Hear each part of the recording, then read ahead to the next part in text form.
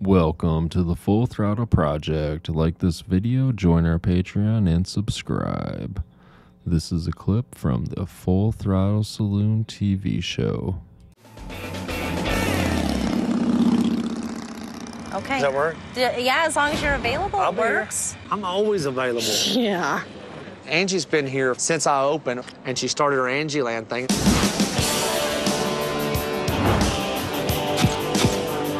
She does something no other bartender does.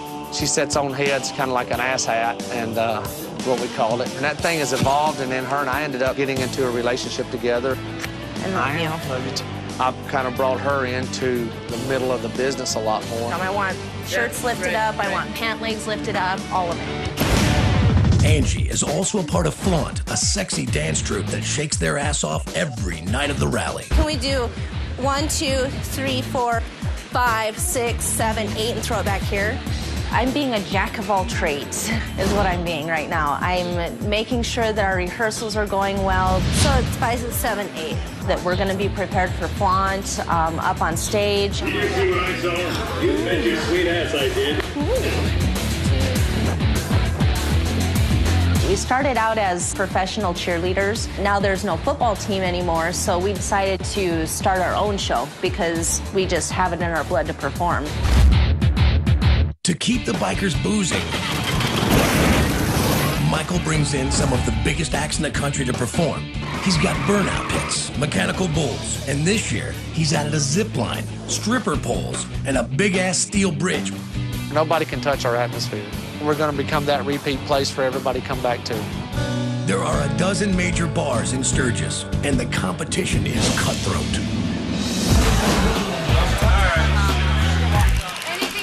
To make sure his place is ready, Michael opens the bar before the rally starts. Because this is the best place in the world, man. Oh, my you God. see the bridge out What a- there? That's an ironworkers bridge. No. Okay? And that's what this place is all about. Working people, and that's what we're here for.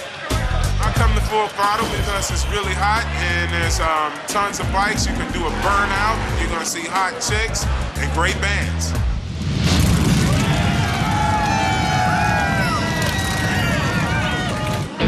I'm a regular here. I was born in South Dakota, so I just have a good time, make good money. It's a little running joke that every Thursday when Jackyl performs, I get fired. So this year I promised them I'm not gonna get fired on Thursday. Bartenders will do almost anything for a good tip. But if they go too far, Michael could lose his liquor license. So he has to lay down the law. Ladies, Mike Strain is Michael Ballard's attorney. He's going to go over what you cannot wear. My name is Angelica Ellie Tyler.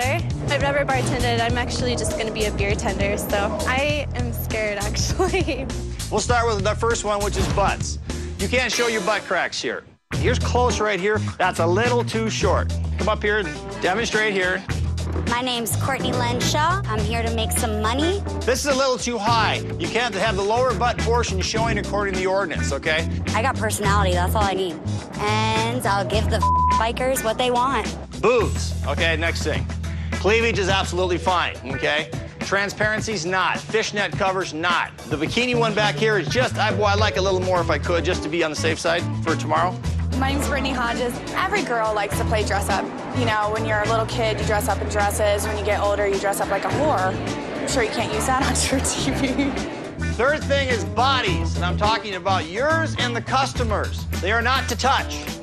My name's Jessica Baxter. This atmosphere is a little different. The women are very, very intimidating here. It's like, I don't think I could pull off a lot of those outfits, and I need to do some crunches or something. It's hard. All right, I'm Vicki Ballard. I'm Michael Ballard's sister. Let's go through the handbook a little bit here. Vicky is a very valuable piece of the puzzle with the throttle, especially handling logistics for the payroll, the taxes. Once you're off of work, I don't, you know, as long as you're not showing your nipples, I don't care. Michael Ballard walked in, so I'm pretty sure he probably wants to have a few words with you, ladies. The main thing I want you guys to know is this. We have security cameras everywhere at this whole property. It's almost as if you were in Las Vegas, Nevada. The bartenders are hugely important to me. Without them, we don't make it.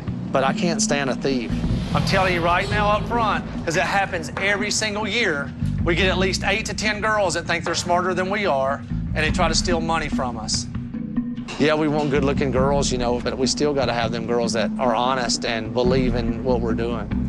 Good luck, and I hope you guys make a killing. You make me a killing, so let's make it happen. Thank you. Do you have to your social security number? Way too freaking long. It's been like two hours. It's horrible and I'm freezing. Is it snowing? Oh my god. I think you broke my back. Um, you need to fill out how many you want to claim. Number line number five. You're,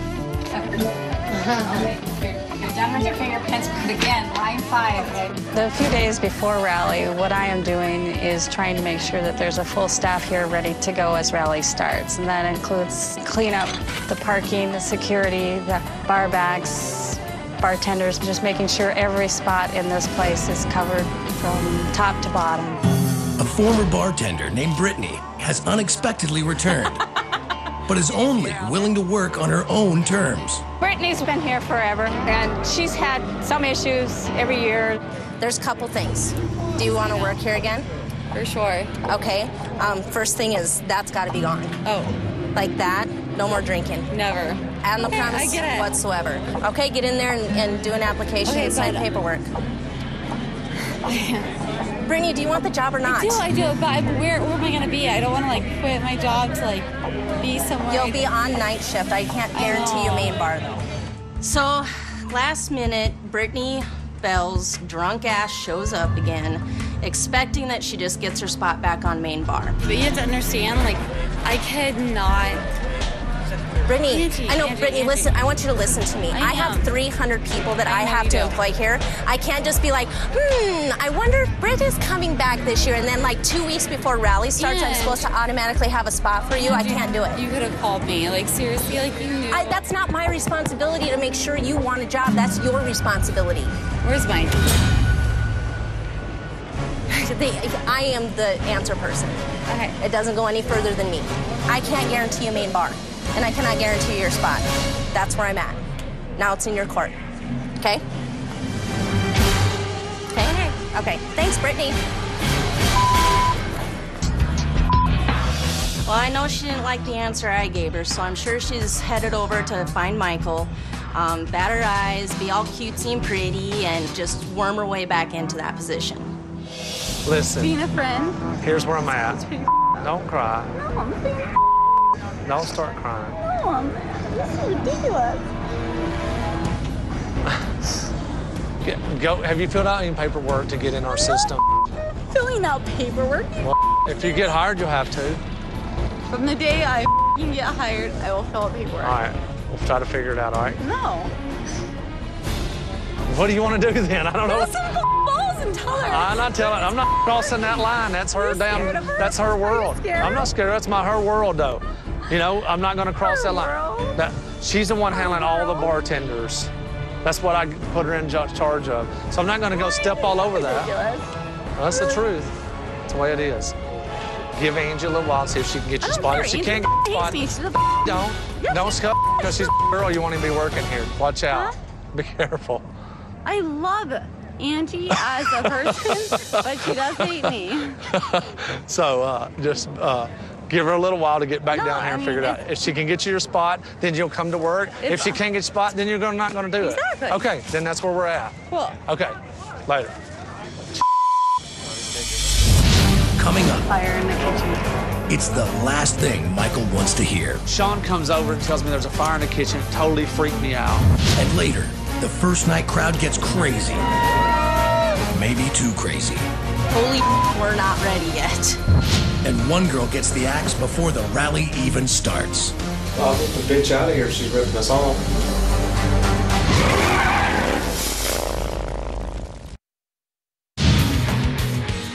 It's the last night before the rally begins, and Michael is sweating, but his temperature is about to go up even more.